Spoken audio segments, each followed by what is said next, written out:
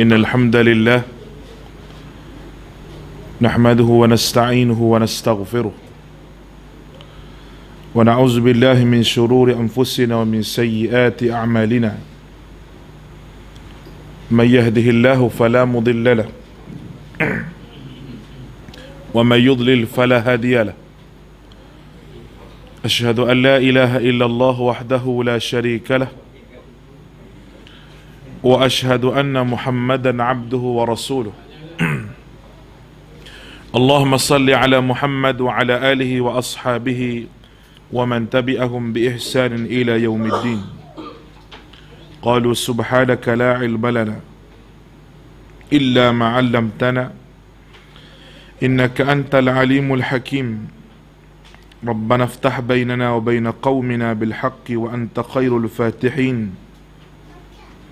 Rabbi yassir wa la tu'assir.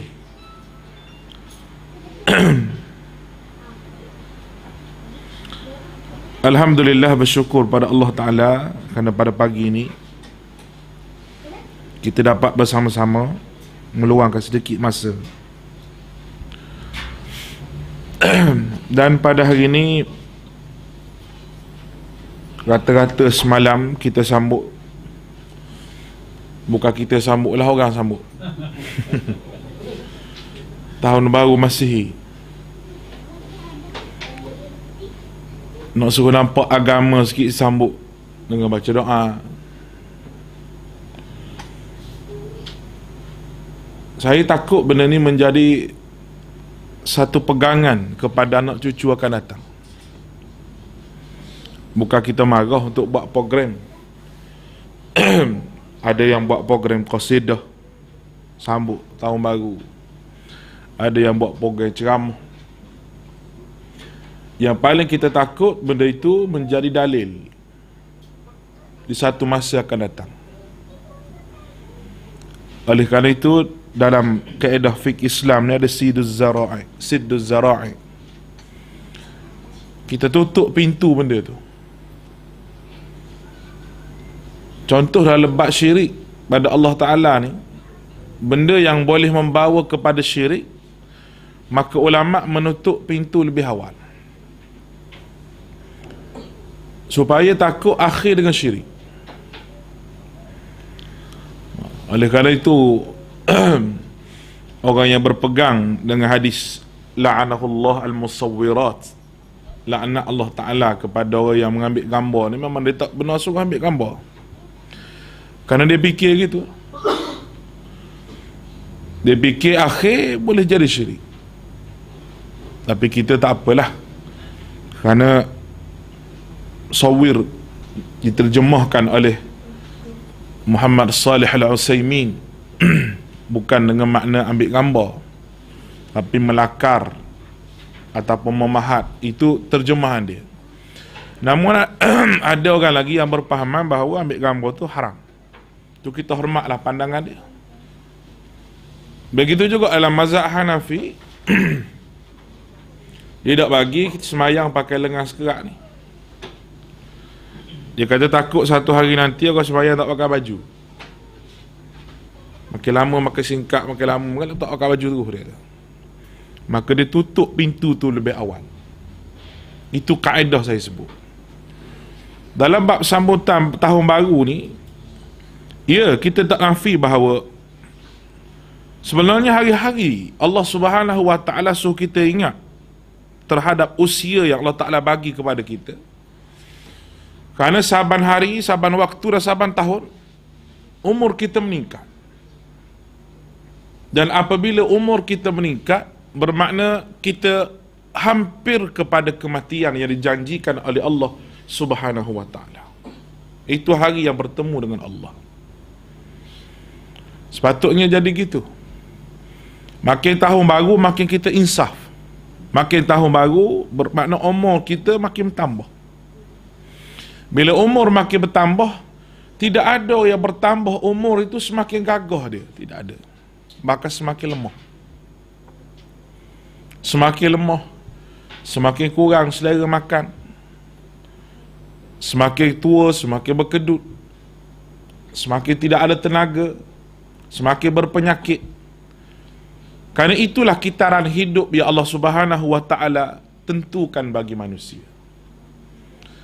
Apabila Allah Subhanahu wa taala meniupkan ruh kepada manusia itu, jadikan daripada setitis air bercampur dengan ibu dan ayah duduk dalam rahim, Allah Taala masukkan ruh masuk tulang, kemudian Allah Taala masukkan pendengaran, penglihatan keluar di atas muka bumi, hidup di atas muka bumi ada alam kanak-kanak, alam remaja, alam dewasa. Lepas pada dewasa jadi tua, lepas pada tua mati. Lepas pada mati itu, itulah permulaan kepada akhirat. Jadi pada pagi ini, pentingnya kita ingat kepada kematian menerusi tahun baru. Kita kena letaklah kepala kita apabila sampai je tahun baru bermakna umur kita ni makin bertambah. Bila umur bertambah, bermakna mati itu dekat. Dekatnya manusia kepada mati ni sehingga ke Allah Subhanahu wa taala suruh kita beramal suruh kita takut pada Allah dan suruh kita ingat bekal apa yang kita bawa untuk hari esok kalau kiamat esok macam mana kalau mati esok macam mana mati merupakan kiamat yang berlaku ke atas diri seseorang. Sementara tunggu kiamat besar saat Allah Ta'ala hancurkan muka bumi ini akan berlaku kiamat kepada diri dia sendiri menerusi kematian. Dan banyak ayat-ayat Al-Quran yang menetapkan kematian. Surah Qaf ayat 19 Waja'at sakratul mautu bil haq. Waja'at, waja'at sakratul mautu bil haq dan datanglah sakaratul maut yang sebenar-benarnya kata Allah. Dzalika ma itulah yang selalu kamu lari daripadanya. Manusia nak lari daripada mati tidak boleh. Hujung dunia mana pun manusia pergi akan bertemu dengan mati. Sehingga Allah Ta'ala sebut dalam Al-Quran. Aynama takunu yudrikumul maut walau kuntum fi burujim musyayyadah. Kemana kamu nak lari daripada mati, wahai manusia?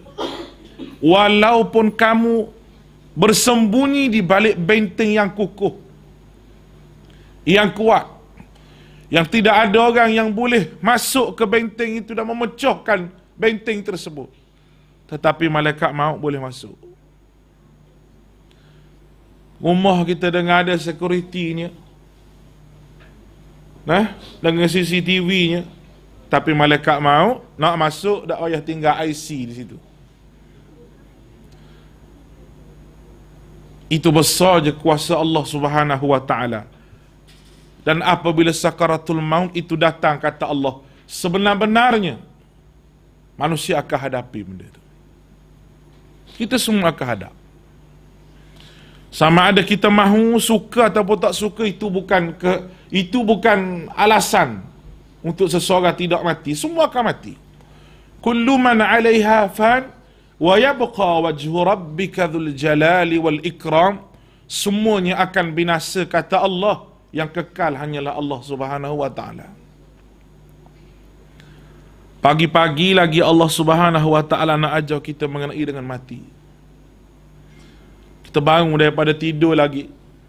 Segala puji bagi Allah. Ahyana menghidupkan kami. Ba'dama amatana selepas mematikan kami. Mematikan kami bila? Masa tidur. Kerana tidur ni ibarat mati. Tak sedar buat apa masa tidur pun tak berdosa. Sebab tidur. Tuan-tuan tidur dengan isteri Mimpi jadi derak Tumbuk mata isteri. Sekali. Sebab baru tengok Gusti tidur tak ha.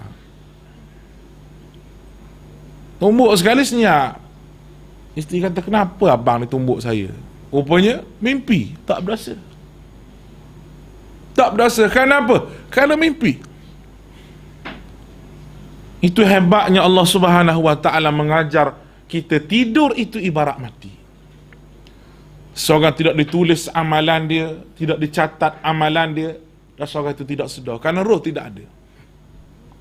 Yang ada hanyalah nyawa. Yang bersama dengan jasad kita.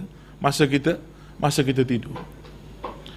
Kalau kita tengok hadis Bukhari di antara sunnah Nabi sallallahu alaihi wasallam bangun tidur basuh tangan.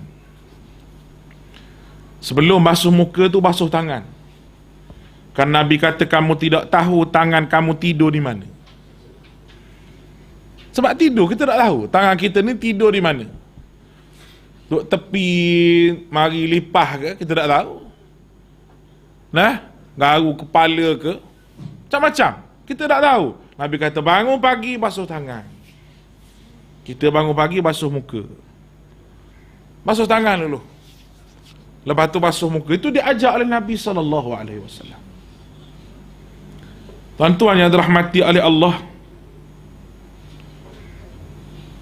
Siapa di antara kita nak mati? Tak ada orang nak mati. Kalau tanya saya pun saya tak mahu. Sebab mati ini memutuskan kelazatan yang kita miliki. Nabi wasallam menyebut Nabi kata ingatlah oleh kamu iaitu saat Hadhimil lazzat memutuskan segala kelazatan. Punca manusia tidak mahu mati ni kerana rasa lazat dengan dunia. Rasa segar dengan dunia, rasa gembira dengan dunia. Sehingga ada di antara kita yang cinta kepada dunia yang menyebabkan sebut je mati, dia marah. Kalau pagi-pagi gini bercakap soal mati Kita pergi bercakap kedai kopi Mati kita ni bocik Ah, dia kata jangan bercakap mati pagi-pagi ni sial dia kata Orang tua-tua lah ha. Sedangkan marinya berita mati datang kepada kita Merupakan satu keinsafan kehadap diri kita Tuan-tuan yang telah mati oleh Allah kita lihat para sahabat Nabi sallallahu alaihi wasallam apabila berhadapan dengan berita kematian. Bila berhadapan dengan berita kematian dan ada di antara sahabat yang disembahyangkan sendiri oleh Nabi. Mayatnya duduk depan, Nabi jadi imam. Para sahabat fikir alangkah baiknya jikalau mayat hak depan tu ialah aku. Kenapa sahabat fikir gitu? Kerana dia nak doa daripada Nabi sallallahu alaihi wasallam. Ada di antara sahabat yang suka kepada mati. Macam mana suka pada mati ni? Dia dengar mati syahid dia semangat. Ada di antara sahabat yang nak syahid tetapi Allah Ta'ala tak bagi syahid. Di medan perang, Khalid ibn Walid tak syahid. Ada yang Nabi menyebut nama syahid di medan perang. Di antaranya Ja'far, Abdullah ibn Ruwahah. Nabi kata jikalau bendera itu jatuh ke tangan orang ni disambut oleh Abdullah ibn Ruwahah. Abdullah ibn Ruwahah bila dengar Nabi sebut nama dia dia menangis. Dia menangis. Orang tanya, wahai Abdullah, kenapa kamu menangis? Abdullah, kenapa kamu menangis? Kamu takut mati? Dia kata, tidak, bukan takut pada mati. Tapi terharunya, apabila nama aku disebut oleh Nabi SAW, sedangkan sebelum ini aku berperang bersama Nabi, Nabi tak pernah sebut nama aku. Terharunya dia disebut nama oleh Nabi. Sampailah di medan perang. Sebelum ada berperang tu, sahabat masuk makan dulu. Allah panggil Abdullah mari makan. Kata Abdullah Merwah aku puasa. Puasa sunat. Sahabat marah. Puasa sunat macam mana nak berperang ni? Kena ambil tenaga sikit. Kata Abdullah ibn Ruwahah. Aku berpuasa di atas muka dunia kerana nak berbuka dengan bidadari di syurga. Allah Subhanahu wa taala kurniakan syahid kepada Abdullah ibn Rawaha. Macam mana jiwa sahabat boleh cinta kepada mati sebab dia merasakan dunia ini merupakan pinjaman bagi dia. Binasa dan celakalah manusia yang mempertuhankan dunia. Binasa dan celakalah manusia hidup di atas muka dunia mengambil semua kesenangan di atas muka dunia sehingga lupa pada Allah. Kata Allah Taala, "Man kana yuridul hayatid dunya wa zinataha nuwaffi ilaihim a'malahum fiha wa hum fiha la yubkhasun." Manusia yang nak kepada dunia kata Allah dan kesenangan di atas muka dunia aku berikan segala-gala apa yang dia nak. Sikit pun aku tak kurang. Tapi akhirat tidak ada cadangan yang lain. Ulaikal ladzina laysa lahum fil akhirati illa an-nar. Di hari akhirat tidak ada cadangan yang lain yang aku nak bagi kepada orang ni. Melainkan sebuah neraka yang aku sediakan untuk dia. Ambillah dunia sebanyak-banyaknya yang manusia nak. Ada orang yang Allah Ta'ala bagi dunia semewahnya kepada dia. Tetapi akhirat dia dapat syurga Allah. Kerana dunia tidak menjadi raja dalam hati dia. Dunia tidak menjadi Tuhan dalam jiwa dia. Tuhan yang Allah subhanahu wa ta'ala. Yang dia sembah. Yang dia menghambakan diri. Apa sahaja yang bertentangan dengan Allah ta'ala. Dalam hal dunia. Dia tolak. Walaupun keuntungan itu ada di sebalik dia. Inilah manusia yang berjaya mengawal diri dia daripada tipu daya dunia. Tuan-tuan yang dirahmati oleh Allah Subhanahu wa taala. Bila manusia mati terputus roh daripada badan berpindah roh ke alam lain. Manusia ni ada roh. Apa dia roh? Bismillah.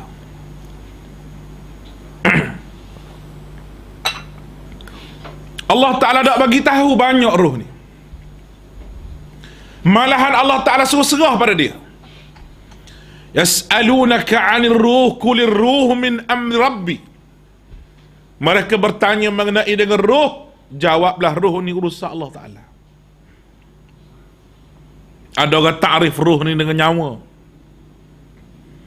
Itu satu ta'rifan.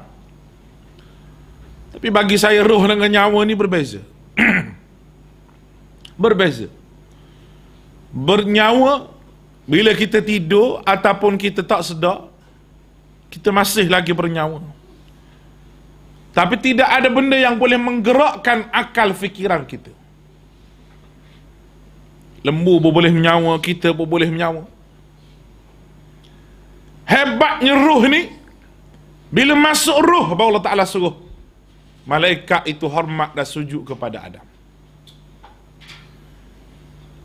فنفخت فيه من روحي فقعوا له ساجدين فسجد الملائكة كلكم أجمعين إلا إبليس kata Allah. Apabila aku masukkan roh maka malaikat semua sujud. Hormat kepada Adam. Semua sekali kecuali iblis. Itu kehebatan roh yang ada pada jiwa manusia. Setengah ulama menghuraikan makanan bagi roh wahyu daripada Allah. Perintah daripada Allah. Syariat daripada Allah, peraturan daripada Allah Ta'ala. Itu makanan bagi ruh. Kerana tubuh manusia ni ada dua benda. Satu dia panggil jasad, satu dia panggil ruh. Jasad kena bagi makan. Kena bagi makan jasad. Tak bagi makan apa? Roh juga kena beri makan. Tapi tidak sebagaimana kita beri makan kepada jasad.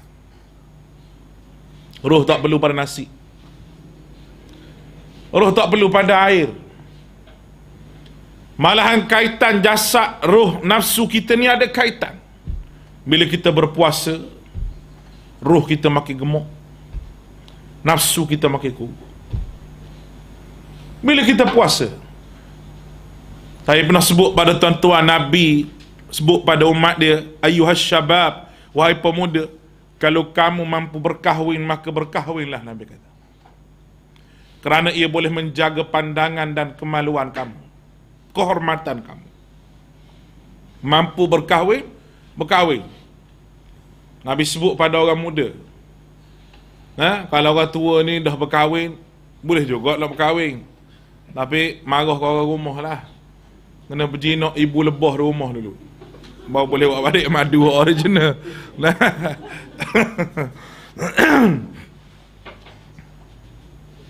Tapi Nabi kata kalau kamu tak mampu berkahwin, fa'alaihi bis-sawm. Puasalah kamu fa innahu lahu wija kerana puasa itu boleh menjadi tali penyuka ataupun boleh menjadi wijak ni maknanya tuan-tuan biasa tengok tak kalau kerbau kena cucuk hidung mana tuan dia heret pun gitulah pergi maknanya puasa ni dia boleh cucuk hidung nafsu tu supaya ikut kehendak Allah Ta'ala itu makna dia Bermakna ruh kita makin besar walaupun perut kita lapar. Kerana itu perintah Allah. Kita baca Quran banyak. Baca Quran sejuzuk, dua juzuk sehari. Walaupun mulut kita letih. Mata kita letih. Menghadap Quran. Tapi ruh kita makin besar. Beza dengan jaga jasad. Jaga jasad ni kalau kita tak makan rasa lapar. Bila lapar nak marah orang. Nampak ni? Bila, bila kenyang, rasa nak tidur. Bila kenyang, mata rasa mengantuk. Apatah lagi kena nasi lemak pagi-pagi. Nah, Itu nafsu yang ada pada tubuh kita. Nafsu bila kenyang, dia malas.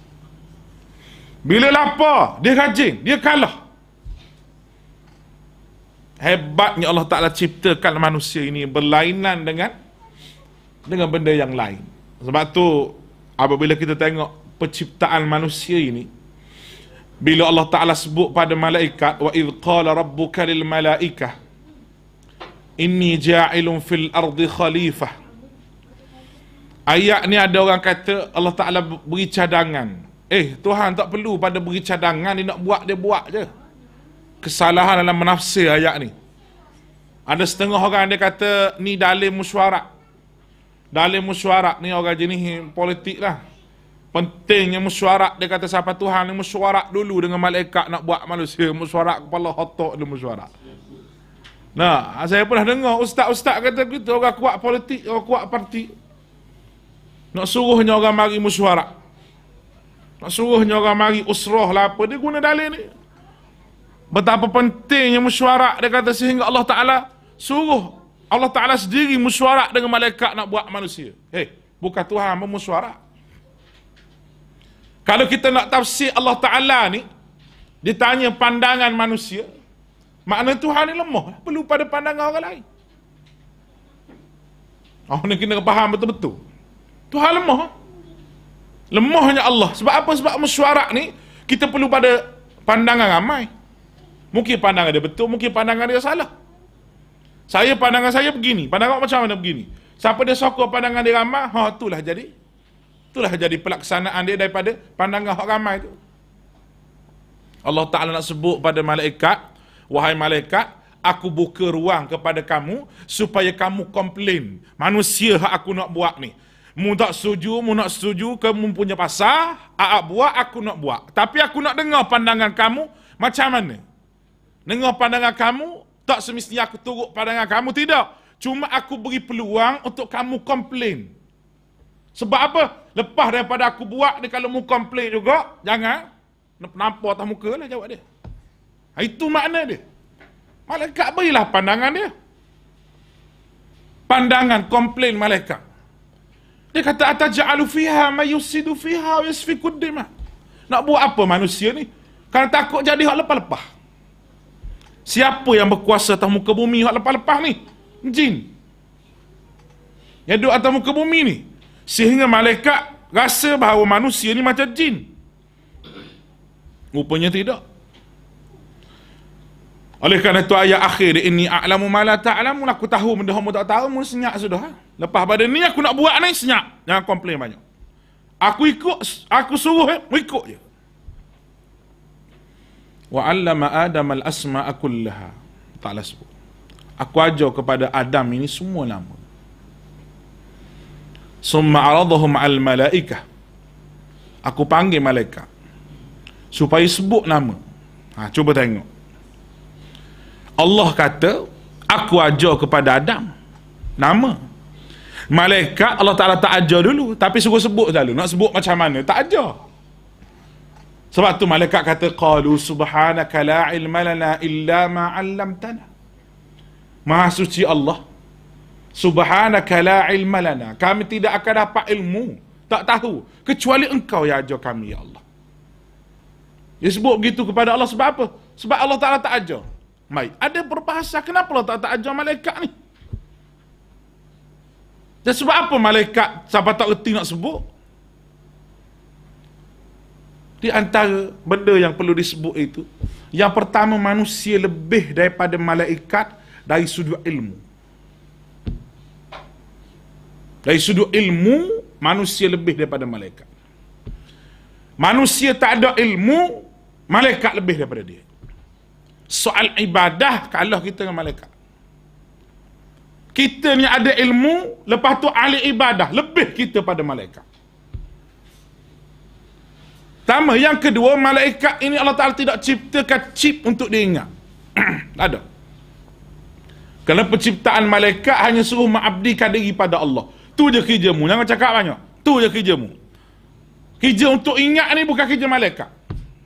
Chip untuk ingat tidak adalah kepala dia. Itu di antara perbahasan. Dan ayat ni juga nak sebut bahawa musyrikin Mekah yang puja malaikat tu tak betul. Tak betul. Kerana malaikat tu sendiri, manusia yang ada ilmu ni lebih daripada dia. Ilmu apa tuan-tuan? Ilmu ma'rifah. Itu ilmu kena Allah subhanahu wa ta'ala ataupun mudah kita sebut ilmu tauhid. Orang yang ada ilmu tauhid ni lah. Tauhid dia kuat yang menyebabkan dia mengabdikan diri hanya pada Allah. Dia ikhlas kerana Allah kerana apa? Kerana dia yakin dengan janji Allah Ta'ala. Itu saya nak cerita hebatnya manusia. Tetapi hebat macam mana pun manusia, dia akan menemui kematian yang kita sebutkan tadi. Baik. Dan Nabi sebut dalam hadis Tirmizi Ibnu Majah disahihkan oleh Al-Hakim dan Ibnu Hibban. Itu Allah Subhanahu wa taala menerima taubat seseorang. Sehinggalah selama mana belum sakarat. Sakarat ni bila tuan-tuan nyawa duduk sini. Dia panggil sakaratul maut. Yang kita sebut tadi. Nyawa duduk di sini nak terkeluar dah nyawa mata terpandang ke atas masa tu manusia bertaubat tidak akan diterima oleh Allah na'udzubillah min zalik nak bertaubat sekarang. Nak bertaubat belum pada sakarat ini. Karena Fir'aun bertaubat masa sakarat ni. Fir'aun kata aku beriman kepada Tuhan Musa. Al-ana kata Allah Ta'ala dalam Quran. Sekarang ni Fir'aun baru nak beriman. Waqad asait. Kamu dulu ahli maksiat derhaka pada Allah. Aku untumil kafir. Sebelum pada ni mu jadi kafir. Bila mu tahu nak mati ni, baru mu nak taubat dengan Allah Subhanahu Wa Taala. Tidak diterima taubat apabila nyawa duduk di sini. Adalah beberapa takrifan daripada hadis Nabi sallallahu alaihi wasallam dihuraikan oleh ulama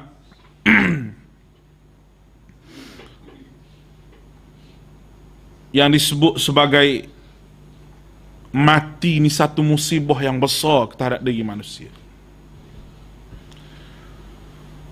kita rasa Allah Ta'ala bagi ujian kepada kita banyak.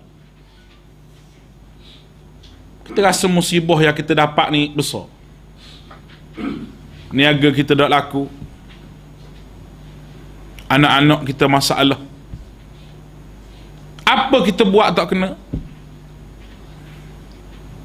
Tetapi kematian musibahnya besar lebih daripada itu. Kenapa tuan-tuan? Itulah permulaan untuk kita menghadapi alam akhirat dan permulaan itu sama ada husnul khatimah ataupun su'ul khatimah.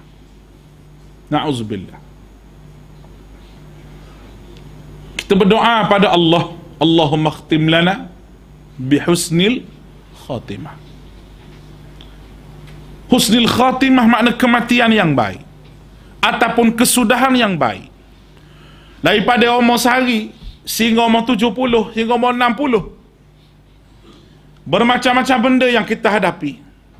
Daripada kita akhir balik umur lima belas sampailah kita nak mati bermacam-macam benda yang kita hadapi. Kita pernah buat dosa. Kita pernah kata ke orang kita pernah menangis seorang kita kita pernah ketawa kita pernah rasa duit banyak Pernah rasa hidup mewah. Pernah rasa ada isteri, ada cucu, ada anak. Kita tidak tahu akhir hidup kita macam mana. Ada orang awal hasanat. Akhirnya, awalnya baik. Wa akhara sayyiat. Tapi akhirnya, kesudahannya tidak baik. Allah Ta'ala nak beri kesudahan pada seorang baik ni senang bagi Allah. Walaupun satu kampung tak pandang muka dia sebab jahat dia.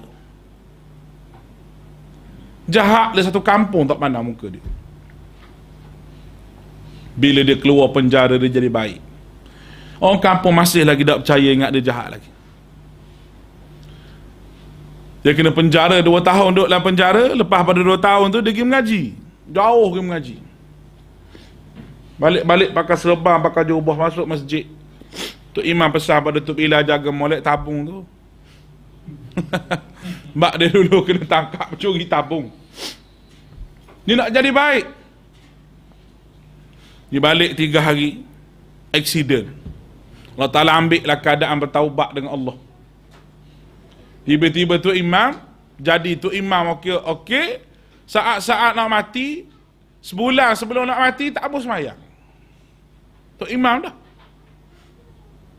ada seorang perempuan menangis mari jumpa saya. Dia kata ayah di saya ni ustaz ahli masjid. Ahli masjid. Masjid tak pernah tinggal. Tapi tiga minggu sebelum dia mati ni semayang pun tak mau. Allahu Akbar. Ada benda dengan Allah Ta'ala dia tak selesai. Oleh kerana itu tuan-tuan keikhlasan dalam beramal cukup-cukup penting. Orang yang ikhlas dalam beramal sudah tentu amal dia akan jadi istiqamah. Istiqamah kerana dia ikhlas. Ikhlas ni benda yang susah manusia nak baca. Tetapi Allah Ta'ala menilai keikhlasan kita. Ada orang boleh sebut saya ikhlas. Saya tak ada masalah, saya ikhlas. Boleh sebut saya ikhlas. Tapi ikhlas ataupun tidak belum tentu keikhlasan dalam mengajar keikhlasan dalam mari mendengar keikhlasan yang jadi jadi suami keikhlasan jadi isteri keikhlasan jadi hamba Allah Subhanahu wa taala kerana ikhlas inilah Allah Taala pilih seseorang ke syurga kisah yang biasa saya sebut pada tuan-tuan kan ikhlaslah seorang yang beri minum pada anjing Tuhan pilih syurga. Walaupun dia berzina. Ya? kan nilai ikhlas Allah Ta'ala lah kepada seorang hamba. Ada yang mengabdikan diri pada Allah. Tapi Allah Subhanahu Wa Ta'ala jadikan akhir hidup dia tidak kenal Allah Ta'ala. Jahr bin Dirham seorang ulama yang hebat anak muridnya ramai baca baca baca Quran jumpa ayat wa kallamallahu Musa taklima dan Allah Ta'ala itu berkata-kata dengan Musa. Apa kata dia? Dia kata, aku rasa ayat ni ada masalah. Ha. Anak murid ramai. Macam mana Tuhan boleh berkata-kata? Dia terlalu menggunakan logik akal dia dalam memahami kudrah dan iradah Allah Subhanahu Wa Taala. Mustahil dia kata mustahil. Mustahil ayat Quran dia kata mustahil. Anak murid dia kata jangan kata gitu tok guru. Jangan kata gitu. Ni ayat Allah Ta'ala kita kena percaya. Ha, dia kata, mu anak murid, diam sudah. Ada sombong dalam jiwa dia. Kufur dia. Hari raya korban, khalifah baca khutbah. Akhir khalifah baca khutbah, Khalifah kata korbanlah binatang ternakan kamu pada hari ini. Dan aku nak korbankan orang yang paling jahat di antara kita pada hari ini. Ambil pedang turun mimbo pun pacung kepala. Jah rubani dirham. Matilah keadaan kapi. Walaupun ulama besar. Ini ha, tuan-tuan. Sebab itu pilihan Allah untuk matilah keadaan baik ataupun tidak baik. Kita tidak tahu. Kerana itu rahsia Allah. Tapi biarlah kita berdoa pada Allah Subhanahu Wa Taala dengan bersungguh-sungguh supaya hidup kita di akhir yang kesudahan yang baik, bukan kesudahan yang tidak baik. Baik. Nabi menilai kecerdikan umat dia ini sebagaimana Ibnu Umar pernah berkata, aku menghadap Nabi wasallam sebagai orang yang ke-10 yang datang. Salah seorang daripada kaum Ansar berdiri seraya berkata, Ya Nabi Allah, wahai Nabi Allah. Siapa orang yang paling cerdik dan yang paling tegas dari kalangan umat ini? Beliau menjawab, mereka adalah manusia yang paling banyak ingat kepada kematian dan paling siap untuk menghadapinya. Mereka itulah manusia yang cergas, mereka pergi ini mati dengan harga di dunia dan kemuliaan akhirat. Disahkan oleh At-Tabra. Nabi kata orang yang paling cerdik di kalangan umat aku yang ingat kepada mati dan mempersiapkan diri untuk mati.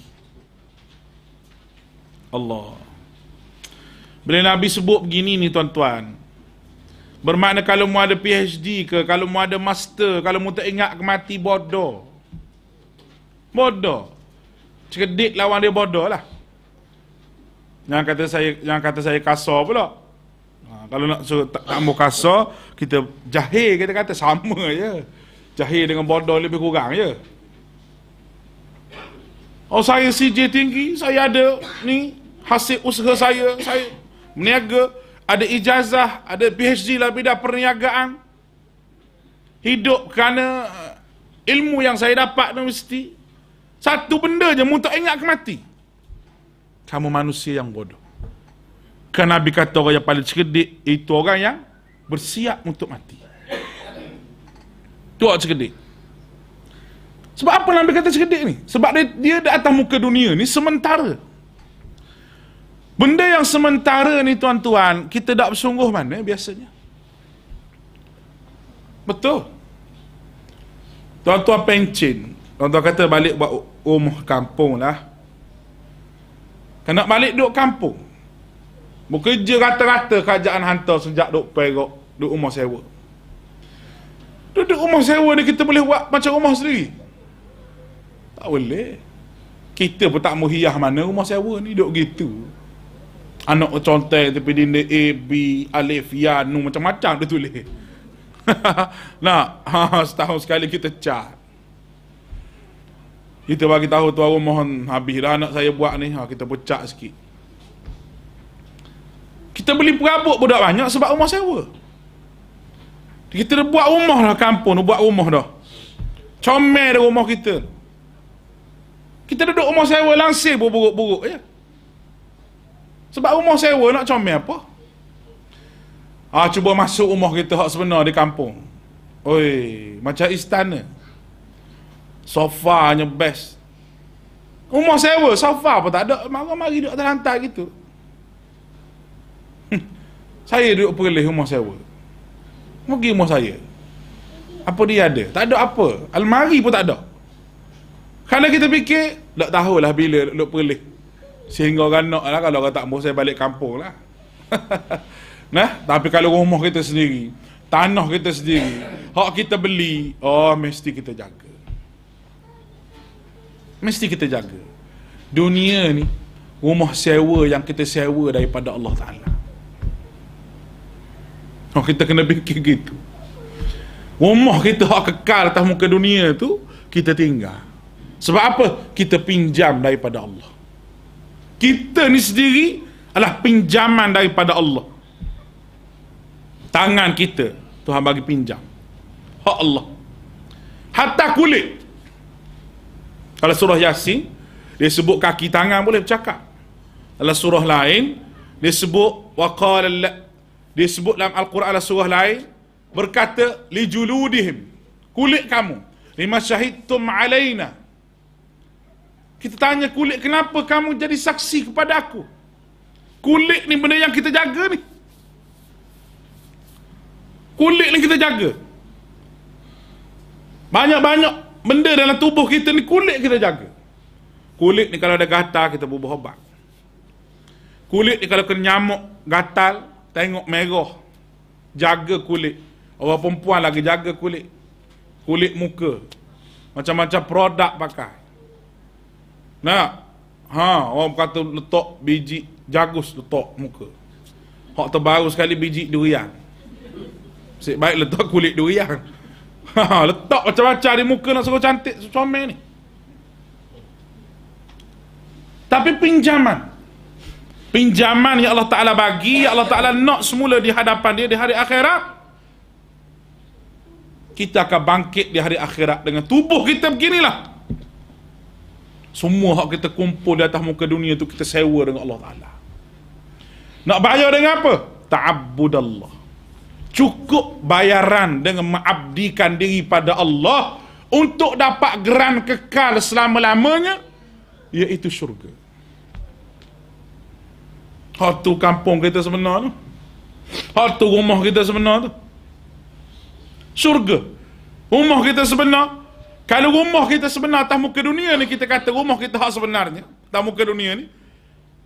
Bukan rumah kita sebenar. Bil elektrik kita kena bayar. Ha. Cuka tanah kena bayar. Minyak kereta kena isi naik pula minyak. Nah, sempena tahun baru naik minyak 20 sen. Reda je lah. Oh, macam mana? Nampak ni? Ha. Rakyat tak mau fikir. Jadi gitu. Nanti orang tidak amanah jadi pemimpin. Habis mata kedarah duit rakyat ni. Maaf lah saya sebut lah. Tapi begitulah keadaan dia. Tuan-tuan. Nabi sebut dah bila kamu serahkan amanah idza tuliyal aman bila kamu serahkan amanah itu ghairi ahli kepada bukan ahlinya fantazirus sa' tunggulah saat kehancuran. Apa yang berlaku? Tanggung. Kerana kita tidak serah kepada ahli dia. Allah kalau kita nak sebutlah bab ni Nabi Yusuf boleh jaga negara Mesir sehingga jadi negara yang subur yang makmur. Atau boleh dengar cerita kisah Nabi Yusuf ni dalam YouTube. Saya ada saya saya dah khatam dah surah Yusuf ni mengajar di Kelantan. Tapi bahasa Kelantan lah faham tak faham ikutmu lah. Nah uh, tapi cerita tu betul-betul menarik. Yang menyebabkan sahabat tertarik hati cerita Nabi Yusuf. Rumah kita kereta kita kata kereta kita habis dah bayar ustaz dengan bank. Lepas tu? Minyak minyak. Isi lagi. Bermakna bukan hak kita lagi. Tidak ada benda yang hak kita. Surga tu semua hak kita. Jannatu adnin tajri min tahtihal anhar. Surga yang mengalir sungai di bawah dia. Wa iddat lil muttaqin. Ya aku janji kepada orang bertakwa. Tapi di sana juga ada rumah yang kekal. Neraka Allah Taala. Na'udzubillah min zalik. Neraka juga disediakan oleh Allah. Cuma neraka ni dua jenis. Satu hak dapat LMS dia panggil, lesen menduduki sementara. Satu kekal. Surga ni tak ada sementara. Tak kata sementara duduk sini tak ada. Semua kekal. Neraka ada sementara. Walaupun sementara tuan-tuan sakit ya Allah Taala tahu azab dia kita tak mahu masuk neraka walaupun sekejap ada orang kita mengajar dia kata tak apalah kita sekejap tak apa dah masuk neraka. Dah? Ha, jangan fikir nak masuk sekejap pun jangan. Jangan fikir begitu. Kita nak masuk syurga Allah Ta'ala. Kalau boleh tanpa hisap nak masuk tanpa hisap. Kita nak benda tu. Neraka tak mahu. Dengar pun rasa gerung. Dengar pun rasa macam Allah tak layak nak masuk neraka kita ni sebab manusia yang terbaik dengan ilmu Tuhan bagi dengan Nabi Tuhan kira nak terjun dalam neraka juga. Cari pasar dengan Allah Ta'ala. Itu di antara dua persimpangan. Hidup kita kekal abadi di syurga Allah Ta'ala. Baik.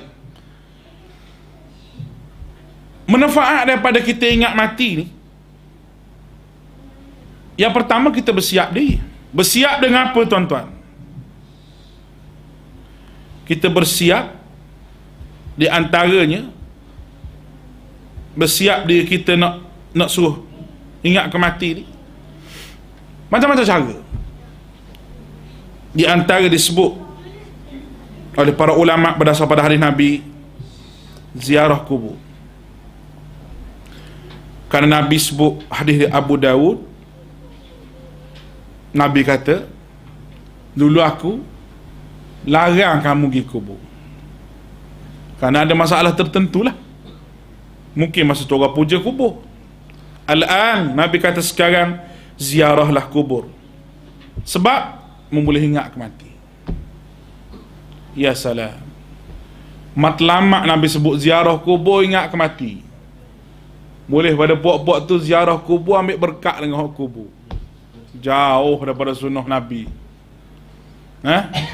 pok-pok berelui Malaysia hok, hok suka pada kubur ni kalau di Pakistan pok-pok berelui lah. Allah kalau kita pergi di Madinah tu ada pok-pok pakai serban warna hijau. Sama ya serban ada capal sini. Baju ada capal juga. Kerana capal-capal tu mari pada dia. Daripada berelui ni. Pergi latar darbar tempat ni pergi. Tengok macam mana. Saya pergi Mekah baru ni kebetulan maulud Nabi. Dia bising dalam Facebook. Nak sambut maulud dalam Masjid Nabawi. Dia kata kerja Saudi tak marah pun tak marah. Apa polis nak kawal lah tu pun tak terkawal. Ramai dia. Ramai. Duduk selawak dalam tu. Ada video tu kan? Raja Salman pun bagi dia kata sambut maulud. Oh, dia jadi hujah begitu. Mu nak sambut-sambut lah. Jangan kait orang lain. Mu jawab lepas Allah Ta'ala. Dan mu rasa lepas jawab. Aku tak lepas jawab dengan Allah. Tu aku tak mau buat tu. Ha. Mudah je. Sambut maulud Nabi. Sahabat buat ke tak? Tak buat. Tabi'in buat ke tak? Tak buat. Tabi'in tabi pun tak buat. Bila mari kerajaan Fatimiyah. Fatimiyah pula syiah pula tu. Tulis pula berjanji. Ha?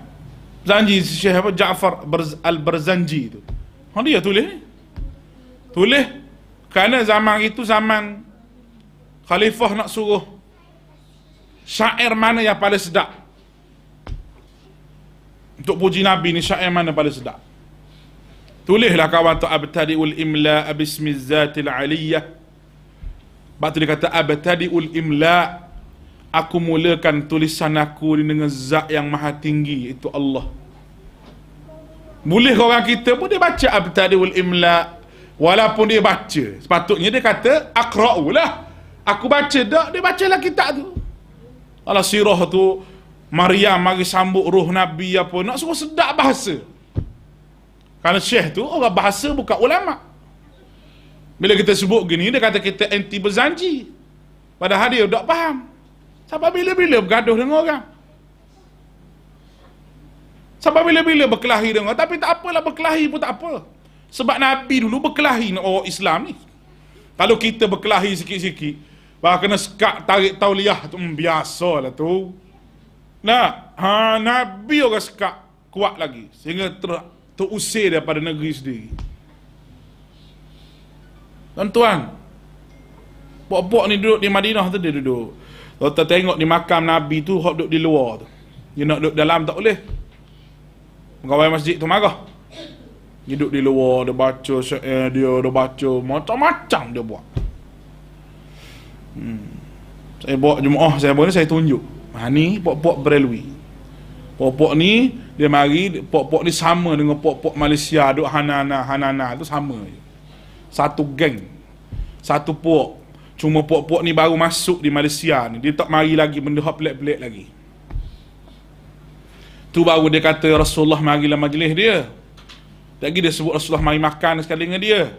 Tak lagi dia sebut Rasulullah mari tepuk dia tidur. Ada belaka tu. Aku tahu belaka mu tak cakap banyak lah. Aci kerak tangan jari aku ni aku tahu. Kalau mu nak bahas. Ada aci kerak jari orang panggil. Saya berani mempertaruhkan jari ni. Kenapa? Kerana di situlah kesudahan dia. Ajak orang pergi kuburlah kesudahan dia. Ajak orang ambil berkat dengan kuburlah kesudahan dia. Kau sudah ada cium kaki Tok Guru lah kesudahan dia. Minum air untuk Guru lah kesudahan dia. Lah sekali, syiah lah jadi dia.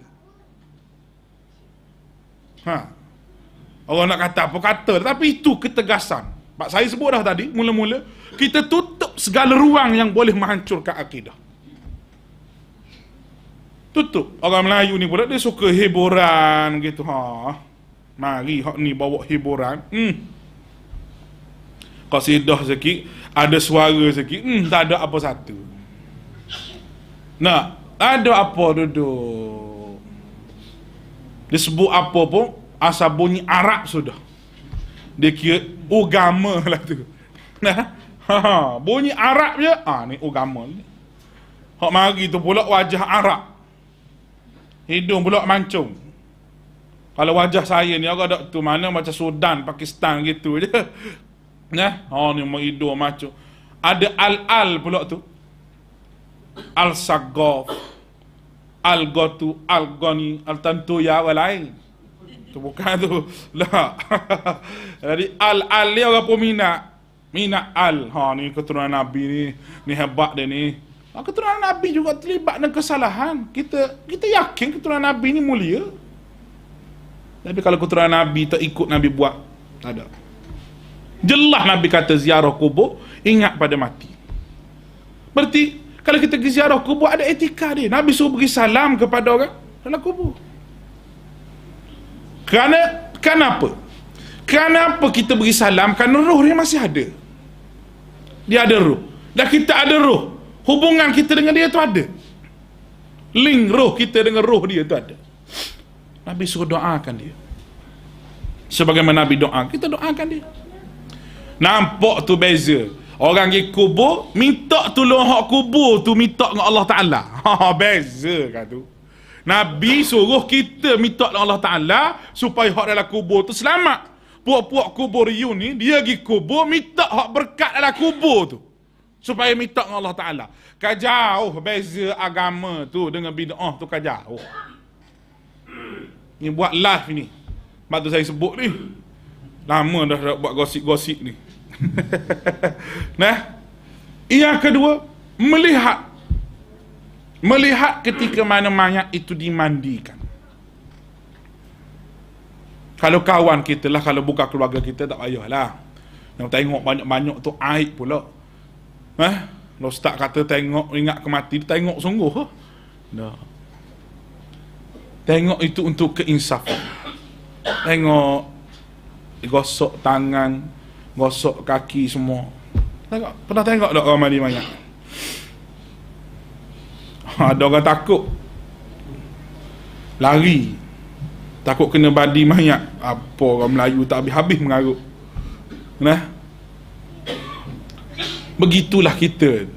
Dia letak di atas tempat mandi mayat orang angkat tangan tak bergerak.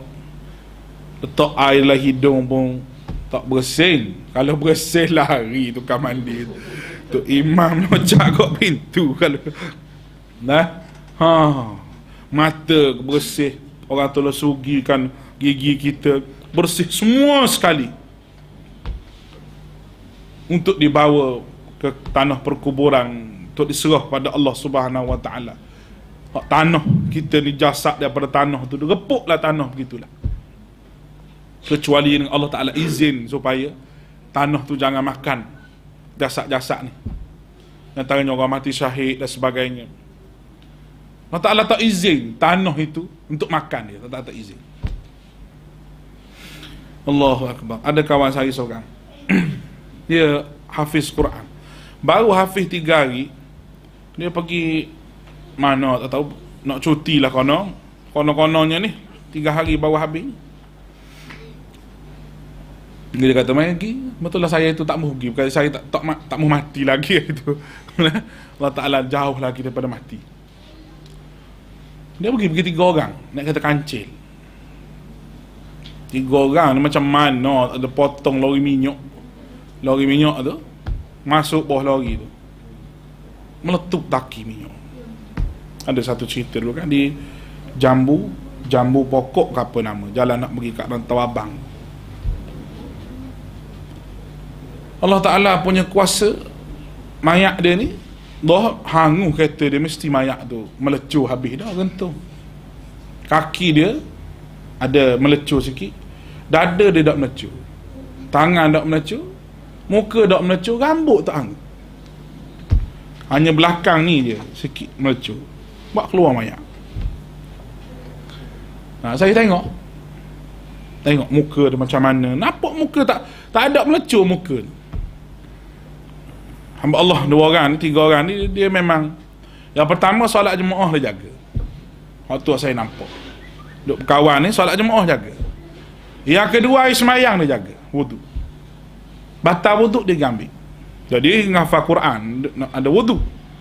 Batal wudu je dia ambil wudu. Dia bangun awal pada orang lain. Ha ni. Tiga-tiga orang sahabat baik. Allah Ta'ala ambil nyawa tiga-tiga Allahu Akbar. Sepatutnya pergi empat orang. Saya seorang tapi saya hidup lagi Alhamdulillah. Allah Allah Allah. Tuhan ni sikit je dia nak bagi sebab untuk orang tu mati. Sikit sahaja dia nak bagi sebab daripada orang tu terhalang daripada kematian. Allah Ta'ala punya kuasa Alhamdulillah. Baik. Mengiringi jenazah iring jenazah. Bagaimana saya sebut sahabat bila iring jenazah dia akan ingat itu jenazah tu akulah orang dia. Supaya ingat kepada mati. Baik. Last sekali. Hasil daripada kita buat ziarah kubur semua tadi dengan sendirinya hati kita ni tidak cinta kepada dunia berlebihan. Sayang juga ke dunia sayang ke harta sayang tapi nak banding dengan Allah Ta'ala sayang pada Allah Ta'ala lagi. Bukan makna tinggal tu harta tinggal dunia, tidak. Kecintaan kepada Allah itu lebih daripada segala-gala. Macam mana cara dia tuan-tuan? Kalau ada, dia ada kerja, dia akan pastikan kalau dia ni jenis orang minat solat berjemaah, macam-macam mana pun, sebelum pada zuhur, dia mesti berhenti kerja dia. Cari masjid. Allah ya raham Tok Guna Aziz Allah maghfir lahu. Saya boleh cerita sebab dia baik. Satu benda yang dia hebat saya tengok dia akan berhenti apa-apa saja kerja sebelum masuk waktu zuhur. Kalau musyarak pukul 12.30 tengok kalau zuhur pukul 1.30 dia berhenti pukul 1 pergi melawak satu hari di pasir emas. Nak pergi balik pada rumah. Kalau balik rumah dia tu sempat nak semayang zuhur sempat dengan kereta dia. Tapi dia berhenti. Berhenti di kawasan mana belum sampai pasir pekan tu dia berhenti. Masa tu 15 minit lagi nak waktu zuhur. Dia mari tu Tok Siak nak mari lagi masjid. Zuhur. Biasa lawan kampung lah. Ha, Dia pergi buka pintu. Dia buka kipas. Dah perangai dia bila masuk masjid Dia tak akan bercakap dengan siapa-siapa kalau orang mari cakap dengan dia, dia paling muka. Dah penuh dia tegur. Dalam kuliah dia kata, kita ni bila masuk rumah Allah Ta'ala, nak cakap lagi. Tak cukup dengan kita duduk sembang kedai kopi. Tak cukup dengan kita duduk sembang di rumah. Masuklah rumah Allah Ta'ala ni, masa kita dengan Allah pun nak bersembang lagi, kata dia. Ha, betul sungguh. Majlis apa-apa pun mesti belum pada zuhur. Belum pada asar. kecuali dia musafir jauh jamak kosa tu lain lah. nak nak nak beritahu jaganya waktu tu orang yang tidak cinta ke dunia tidak cinta ke dunia tapi Allah Ta'ala yang lebih segala-gala Dia akan cari waktu dia dengan Allah Ta'ala. Cari hubungan dengan Allah Subhanahu Wa Ta'ala. Walaupun pangkat duduk besar sekali, mana pun walaupun dunia duduk atas kepala dia, dia tidak akan lari daripada perintah Allah. Kerana istiqamah menjadi hamba Allah Subhanahu Wa Ta'ala. Mudah-mudahan tahun baru Masihi ini 2017 lepas 2016 boleh ingat kepada kita bahawa semakin hampir kematian kepada kita. Bukannya azam tahun baru, azam tahun baru, bolehlah azam tu.